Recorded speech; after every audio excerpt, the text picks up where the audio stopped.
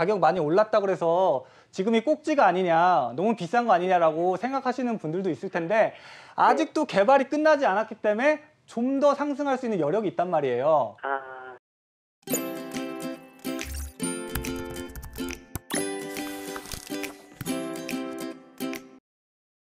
여보세요? 여보세요? 네, 안녕하세요. 반갑습니다. 네, 수고하십니다. 네, 시청자님 감사합니다. 고- 어떤 고민으로 전화 주셨어요?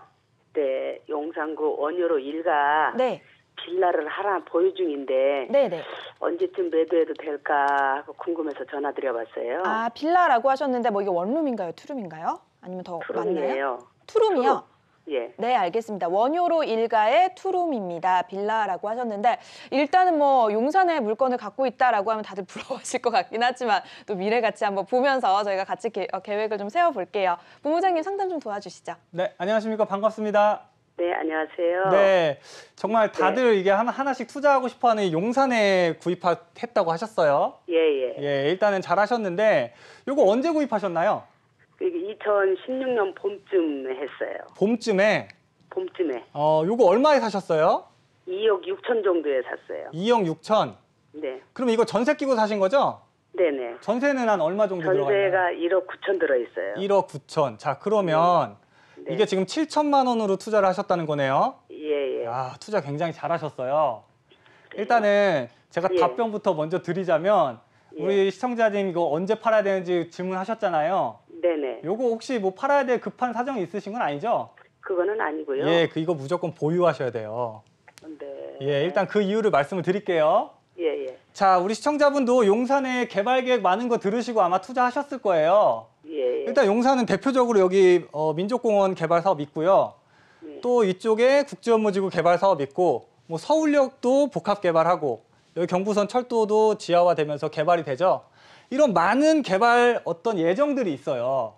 자, 그런데 지금 음.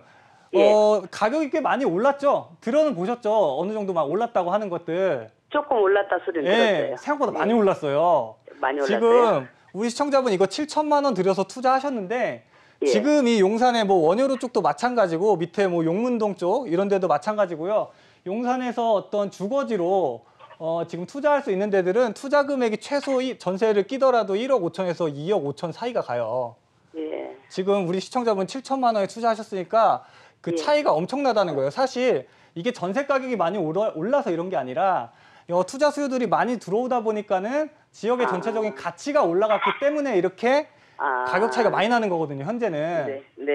예, 그래서 최소 1억 이상의 지금 차익은 보신 건데 네. 시청자분 이거 지금 파시기에는 너무 아까워요. 그래요. 그 이유가 뭐냐면 예. 자, 용산이라는 개발지에다가 지금 개발이 되는 거를 보고 투자했는데 이런 네. 개발지들은요. 가격 상승이 멈추려면 개발이 끝나야 돼요. 예. 개발이 끝나야지만 가격이 조금 들어오르거나 뭐 멈추거나 하겠죠. 근데 네. 지금 제가 앞- 앞서 언급해드린 이러한 굵직한 개발 사업들이 지금 현재 뭐 다 끝났나요? 어, 뭐- 아주 멀었죠. 예, 아직도 멀었어요. 아직도 지금 뭐 시작 단계에 있다고 봐도 돼요. 예. 그렇다 보니까 아직도 이 개발에 대한 이 기대감이 아직도 남아 있는 거거든요. 네네. 이 기대감이 남아 있으면 추가적으로 투자 수요들이 계속적으로 유입이 돼요. 음, 예, 그러니까 그래요? 이렇게 예. 기대감이 많이 높은 지역이 용산이거든요. 현 시점에서도. 지금은 예. 물론 투자 금액 굉장히 많이 들어간다고 가격 많이 올랐다 그래서 지금이 꼭지가 아니냐, 너무 비싼 거 아니냐라고 생각하시는 분들도 있을 텐데 아직도 개발이 끝나지 않았기 때문에 좀 더 상승할 수 있는 여력이 있단 말이에요. 아, 그러니까 우리 시청자분 굉장히 좋은 물건, 좋은 가격에 잘 사셨으니까요.